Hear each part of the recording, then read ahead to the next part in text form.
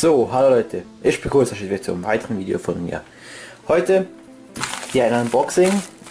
Ähm, ich werde euch hier dann noch irgendwo, wahrscheinlich hier oder so, ein Bild von RC Nitroflamme, sein Kanal einfügen, äh, mit dem direkten Link zu ihm. Ich habe das Paket hier über ihn bestellt, weil er einen Paypal-Account hat und ich nicht. Und da könnt ihr schon denken, woher das, das Ding kommt. Ja, das kommt von eBay, also da von einem Verkäufer aus England. Das hat mich 12 irgendwas gekostet. Also ich weiß die Währung nicht, wie sie dem sagen, ob, aber das werde ich dann auch gleich sehen. Er hat das bei sich im Unboxing schon mal geöffnet. Man sieht auch hier drei Löcher. Ähm, ja, das war ein bisschen blöde Verpackung, dass hier die Kupplung schön rausgestochen, aber spielt ja keine Rolle. Jetzt nehmen wir hier zuerst mal diesen Zettel. Das ist der Einzahlungsschein für mich. Die Kupplung und ist leer. Ähm, hier, das kommt von diesem Shop da. Ich habe jetzt für das Ganze Muss ich kurz gucken, dass da keine Adresse drauf ist von ihm. Ja, sehr gut gefaltet. Yeah. So viel habe ich gezahlt. Ich weiß nicht gerade, wie man dieser Währung hier sagt. Aber ihr werdet es bestimmt kennen. Englische Dollar oder sowas irgendwie. Dann haben wir hier mal die Kupplung. Das ist alles voll Aluminium. Hier Aluminium Kupplungsbacken mit Federn. Können wir auch mal kurz auspacken.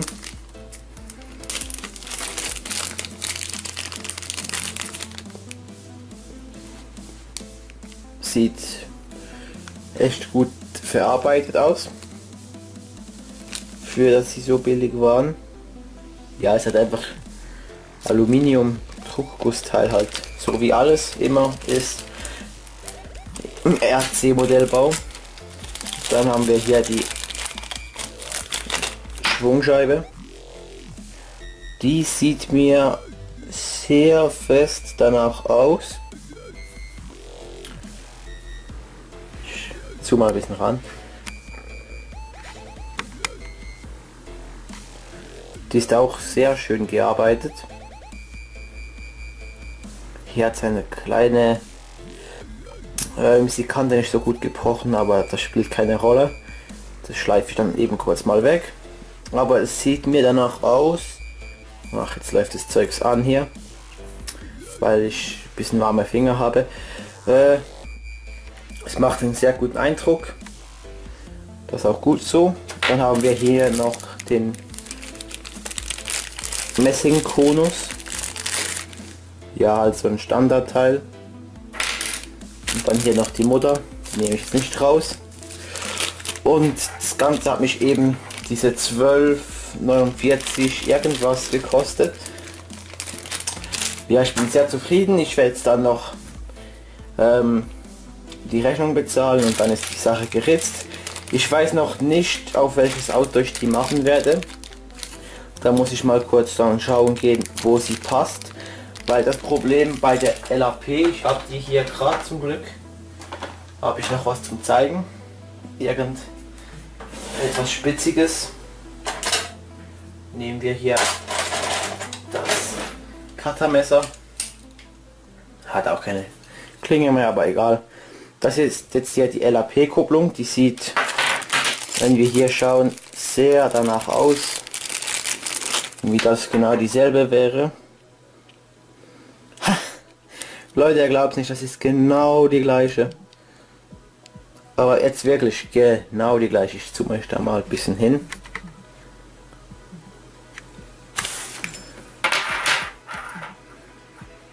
Einfach ist die in blau eloxiert, die LAP. Aber das ist genau dieselbe. Also jetzt wirklich. Ja, muss ich halt dann schauen, ob das passt. Aber jetzt hier bei der LAP hier, könnt ihr sehen, ist ja hier noch diese Vertiefung hier. Und das ist das Problem, das macht, dass die Kupplung ähm, 1 mm oder sogar 2 mm tiefer sitzt hier auf dem Konus. Das heißt, sie wäre ja weiter hinten als die Standardkupplung, aber weil sie hier vorne noch das ein bisschen länger gemacht haben wegen diesem Einstich hier hinten, wird dann die Kupplung 2 mm länger als die Originale. Und deswegen passt diese Schwungscheibe und wahrscheinlich dann auch diese Schwungscheibe nicht auf den Savage. Aber ich werde dann wahrscheinlich einfach hier die Kupplungsbacken nehmen das funktioniert. Und werde dann die LAP Kupplung da wieder alles rausnehmen und das mal schön vernünftig machen dass das alles wirklich passt da. Und ja jetzt will ich die noch kurz nebeneinander legen und mal von der Seite schauen. Wenn es mich jetzt nicht täuscht ist diese hier sogar noch dicker als diese. Aber ja ich werde dann schon Einsatzort finden für die und für die. Das ist kein Problem ähm, jetzt noch ein paar Infos ich zoome euch dafür wieder ein bisschen raus ähm, ich und Ale also RC Freak CH gehen in zwei Wochen ähm, auf eine Kartbahn. Er wird dann seine neue GoPro da mitnehmen. Dann werden wir da so ja eine Runde fahren, so 10 Minuten, weil das ja auch sie ziemlich teuer ist mit 25 Franken für 10 Minuten Fahrt. Aber ja, man gönnt sich ja zwischendurch dann auch mal diese 25 Franken. Ähm, ja, ich habe mich jetzt auch entschlossen, was für ein Auto ich mir ich mir in ferner Zukunft kaufen möchte. Das werde ich momentan aber noch für mich behalten. Das werdet ihr dann beim Unboxing sehen. Ich kann euch schon mal sagen, es wird auf die Weihnachten, werde ich wahrscheinlich genug Geld zusammen haben, um das kaufen zu gehen. Und vielleicht habe ich dann noch Glück, weil so um Weihnachten gibt es da bei meinem Händler zwischendurch so Aktionen, wo die Autos zu 200, 300 Franken noch billiger sind als normal. Und dann mal schauen. Äh, was wollte ich noch weiter sagen? Jetzt ist es mir entfallen. Ähm, auf jeden Fall grüße ich dich noch RC Warlord. Ich hoffe du hast jetzt ähm, gesehen was das Problem ist. Ich werde wahrscheinlich das dann noch zeigen am Savage, aber der ist momentan eingemottet. Ich habe momentan echt keine Lust mehr auf den weil andauernd geht irgendwas da am Getriebe an Arsch. Und das kotzt mich jetzt mittlerweile ein bisschen an. Und ich habe noch die schöne Aussicht darauf dass eventuell das Getriebe da noch kaputt ist oder auf jeden Fall die Kugellager weil da vorne das Hauptzahnrad hat sehr viel Spiel und das kommt wahrscheinlich auch davon, dass da schon ein paar Zahnräder verklemmt waren, weil sie ja kaputt gegangen sind andauernd. Ja, ich hoffe, das ist da nichts extrem teures, was da noch kaputt ist. Weil sonst kackt es mich dann richtig an.